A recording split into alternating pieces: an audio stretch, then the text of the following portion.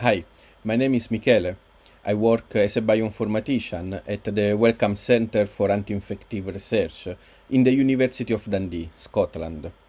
And uh, I ranked the 10th position in the DREAM Challenge of predicting gene expression using millions of random promoters. And today I want to speak about the model that I used.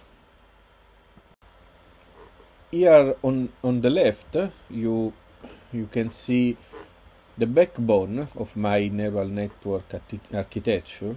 And uh, uh, what is interesting here, I think that uh, I decided to encode the strength of the promoter with a number from 0 to 1, and then use the sigmoid activation and the binary cross-entropy loss to predict the strength of the promoters.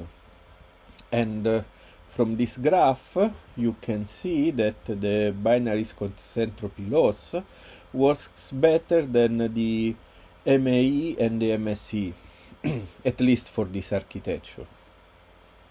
Another interesting Another thing that I noticed is that the neural network was working better without using dropout.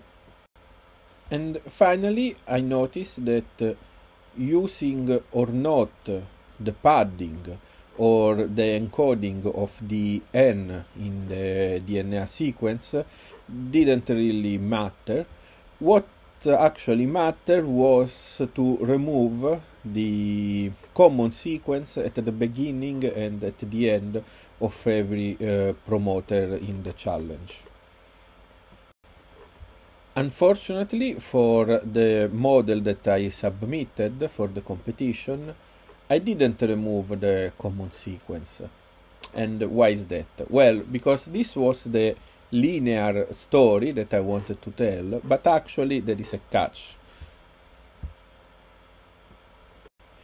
At the beginning, I was training this architecture with the MAE. And uh, the problem with this loss was that the model, after a few epochs, would stop training, NaN will appear. So uh, I, I, suppose uh, the the weights were or exploding or vanishing, uh, and uh, practically I ended up uh, wasting a lot of time trying to figure it out what's going on until uh, first I decided to use uh, uh, a classifier instead of a regression. And what I noticed is that with a classifier, the, the, the neural network was doing fine. So I, I thought that the problem was uh, in the loss that I was using.